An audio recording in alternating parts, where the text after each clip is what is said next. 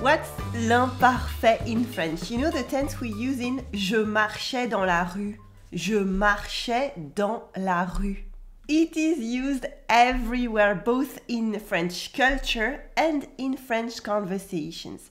How can you use it? What does it look like? How do you conjugate it? What's the difference with le passé simple? Today I'm going to show you how to train your ear to l'imparfait and hear it in everyday French conversations. C'est parti!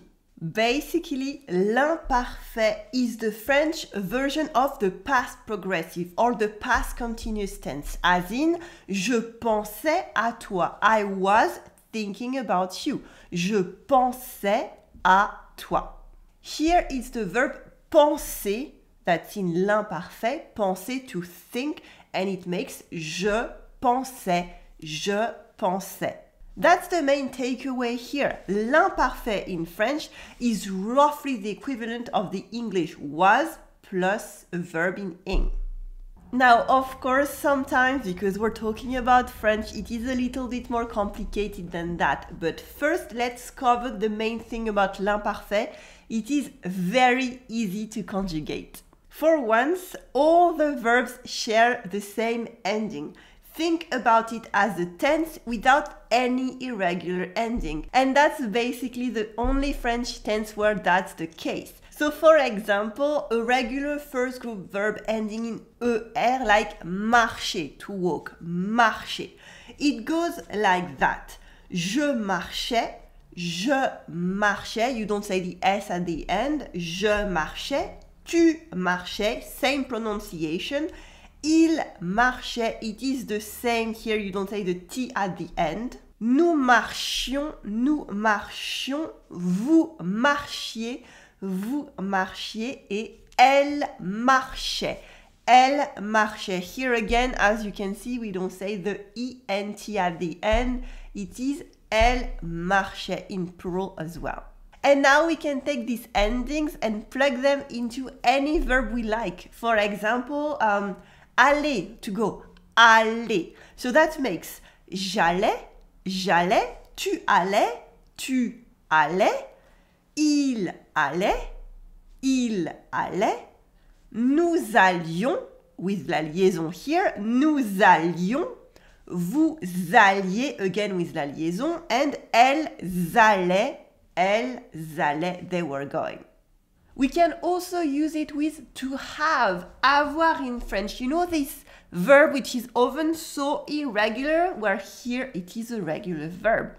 So it makes j'avais, tu avais, il avait, nous avions, with la liaison, vous aviez, and elles avaient. You see, that's pretty easy. Okay, it's French, though there is one exception with the second group verbs such as grandir, to grow, grandir. The endings here don't change, but the root is tweaked a little bit. So in the first person of l'imparfait, grandir becomes je grandissais. Je grandissais, I was growing. And then what you can take is the root and then you add the ending at the end, just like we did before. So we have je grandissais, tu grandissais, il grandissait, nous grandissions, vous grandissiez, yes, that's a lot of eyes, and elle grandissait. You know, it's not that difficult when you know how it's built. And that's where you might be thinking, okay, Geraldine, how do I know which verbs are in the second group? Well, the second group is defined as, and don't be angry at me, the verbs ending in er, which makes ils in the present tense with nous. Okay, so we have nous grandissons for grandir. As a French person, this is very intuitive to me because as a child we learn how to conjugate verb and then afterwards we find out about the groups.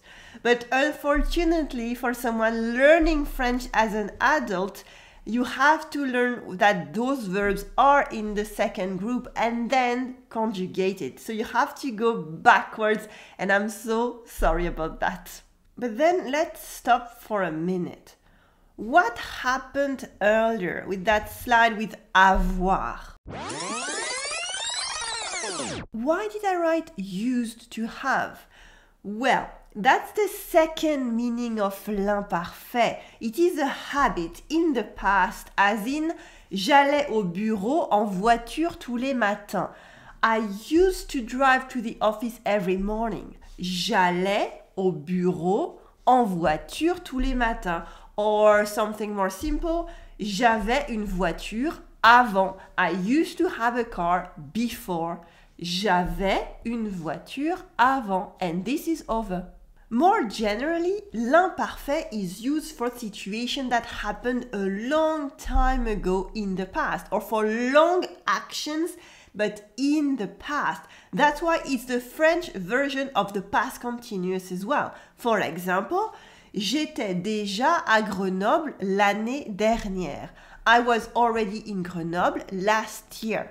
J'étais déjà à Grenoble l'année dernière. Or, elle allait à la boulangerie quand elle a vu Michel. She was going to the bakery when she saw Michel.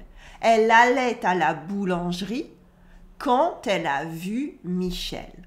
Here, what's interesting is that elle allait is the long action compared to elle a vu. She saw. She was going.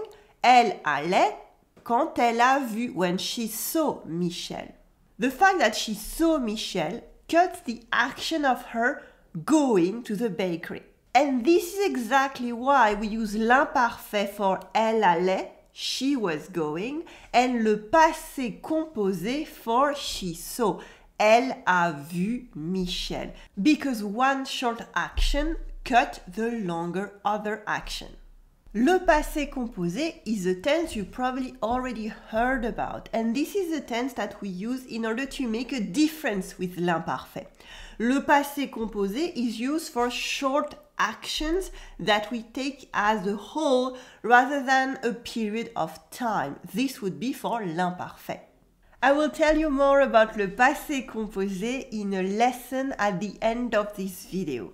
But did you notice I just used a very important verb that we had not covered yet. It is a little bit irregular in the imparfait, so I'm really sorry, but you have to learn this one. And you probably heard about it before. Can you guess? Yes, of course, it's être, to be, être. It's our favorite verb. So in l'imparfait, être makes j'étais, tu étais, and you might remember that it becomes t'étais in everyday spoken French because we remove the U. Il était, nous étions, vous étiez, elles étaient. And that's it. Now you basically know everything there is to learn about l'imparfait in French. So it's your turn now. How would you say elle pense à lui in l'imparfait? Elle pense à lui, she's thinking about him.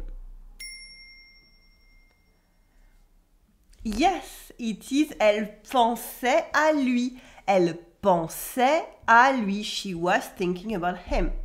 Now, another one. Again, ils vont à l'école. Ils vont à l'école. They're going to school. Ils vont à l'école.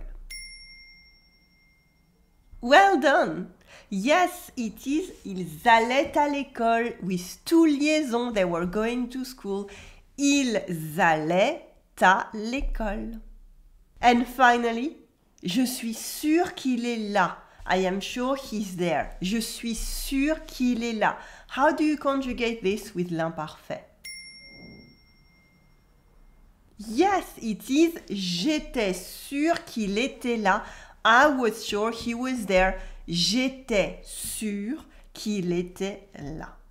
Congratulations, keep practicing and I am sure you will get very confident in no time with l'imparfait in French. You can start by diving into the first seven French verbs that you absolutely need to know, and then I will tell you more about le passé composé. Remember, we talked about this one, and le participe passé is the past participle. Just click here on your screen to access the playlist with these three lessons that I made for you and I will see you in the next one. Just click here. Salut